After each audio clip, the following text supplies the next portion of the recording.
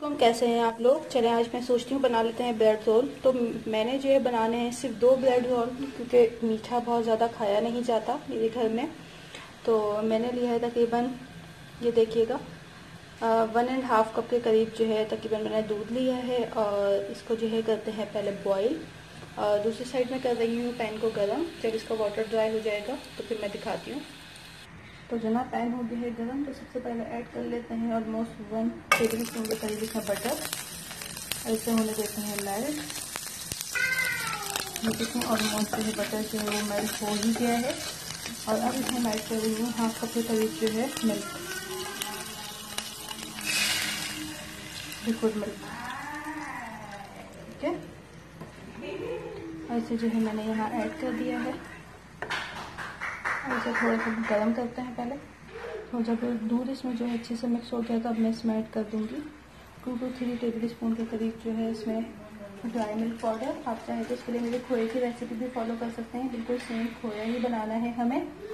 बिल्कुल सेम हमें खोया ही बनाना है। तो मैं तकरीबन two to three tablespoon इसको करती हूँ। और इसको कर लेते हैं मिक्स और फिर पकाते हैं मिक्स करके। ऐसा ऐसा करके आप इसको डिज़ोल्व करें, पूरा डिज़ोल्व हो जाएगा।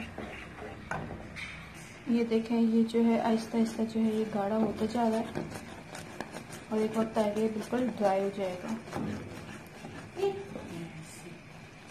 और बिल्कुल इसी तरह से जो दूसरी साइड आपने सिर्फ़ मिल्क डाल के जो है इसको बॉईल किया है, इसको हल्के आँच के ऊपर पकने दें वैसे भी थोड़ा सा गाढ़ा कर लीजिएगा। ये देखिए जनाब, ये होता जा रहा है। काफ़ी हद तक ये जो है हो गया है।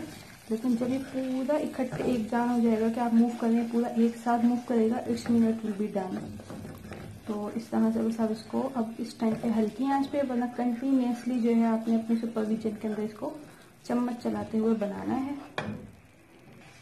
ये तक है जनाब ये बिल्कुल हो गया है। अगर आपने ऐसे ही रखना है तो बिल्कुल खोए के तौर पर भी इस्तेमाल हो सकता है। खोया भी बिल्कुल यही होता है। हो गया है डन तो इसे मैं निकाल लेती हूँ किसी एक प्लेट में। तो ये जनाब ये हो गया है डन तो इसे होने देते हैं थोड़ा सा ठंडा।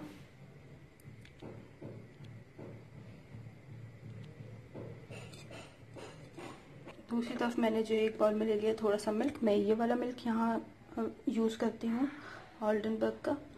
तो बस ये मैंने थोड़ा सा इसके अंदर जो है डाला है। थोड़ा सा ट्विस्ट करने के लिए मेरे पास ये है वनीला आइसक्रीम पाउडर तो मैं जो है ये इसमें डिज़ोल्व करूँगी। ये मैंने कर लिया है तो इसमें बस मैं थोड़ा सा जो है ना इसको ऐड कर दूँगी। ये देखिए, और साथ ही मैं इसमें ऐड कर रही हूँ इलायची पाउडर और साथ ही मैं ऐड करूँगी इसमें तकरीबन two to three tablespoon के करीब जो है शुगर ज़्यादा ऐड नहीं कीजिएगा, क्योंकि जब आपने खोया बनाया ना है, बनाया है, उसमें भी ऐड करेंगे। और जो लोग कम मीठा खाते हैं, कम अज़ कम वो तो बिल्कुल ऐड ना करें प्लीज़ और जो है साथ ही जो है चले इसको कर लेते हैं डिजॉल्व और साथ ही जो है, मैं आपको इसके साथ एक टिप बताती जाती हूँ या बताती जाती हूँ, अगर आपके पास वनीला पाउडर नहीं है तो आप जो है सिर्फ़ इस दूध को भी ऐसे ही पका सकते हैं। और उसमें चीनी और जो है, क्या नाम है इसका, इलायची पाउडर ऐड कर सकते हैं। इलायची पाउडर नहीं है तो इलायची के दो तीन दाने क्रश करके ऐड कर दीजिएगा। और अगर आपके पास, क्या कहते हैं आइसक्रीम पाउडर भी नहीं है तो आप सिर्फ़ कस्टर्ड भी डाल सकते हैं। और अगर सिर्फ़ ये भी नहीं है, ना कस्टर्ड पाउडर है तो आप जो है इसके अंदर कॉर्नफ्लावर हाफ़ टी स्पून के करीब कॉर्नफ्लावर भी डाल सकते हैं गाढ़ा करने के लिए। ये थोड़ी सी क्विक ट्रिक है मिल्क को थोड़ा सा जो है गाढ़ा करने के लिए और फ्लेवर्ड करने के लिए। वरना अगर आप थोड़ी देर के लिए बहुत अच्छे से सादे दूध को भी पकाएँगे, जब भी बहुत अच्छा टेस्ट आएगा। तो बस इस टाइम पे मैं ऐड कर दूँगी इसमें बादाम और पिस्ते। आधे ऐड कर दूँगी, आधे जो है मैं रख लूँगी गार्निशिंग के लिए। सो जनाब नेक्स्ट स्टेप ये है कि मैंने ले ली है ब्रेड और रिमूव कर लूँगी मैं इसके कॉर्नर्स तो रोलर की मदद से मैंने इन्हें कर लिया है फ्लैट ये देखिएगा, इसे रखते हैं साइड पे.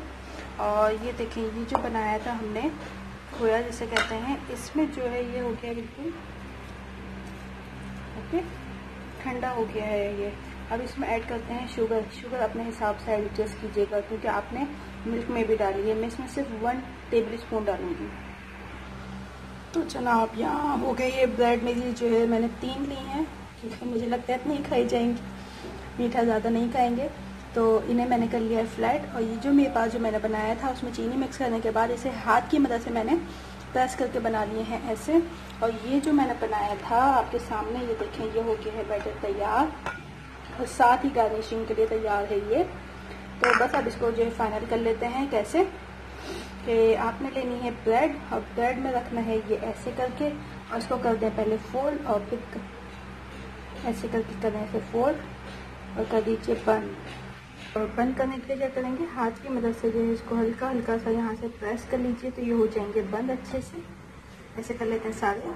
तो ये देखें जनाब, मैंने कर लिए हैं सारे तैयार। तो अब कर लेते हैं प्लेट प्लेटिंग चलें लाइट का थोड़ा सा इशू आ जाता है मेरे किचन के अंदर तो पहले जो है मैं पोर करूँगी इसमें बैटर अच्छा मैंने मैंने पहले ये डाला है, मुझे लगता है पहले जो है थोड़ी सी उसकी बेस को भी होना चाहिए। और इस तरह से जो है बस इसको सेट कर देंगे इसमें। ये देखिए, और बाकी का जो बैटर है वो भी सारा का सारा इसके ऊपर पोर कर दीजिएगा।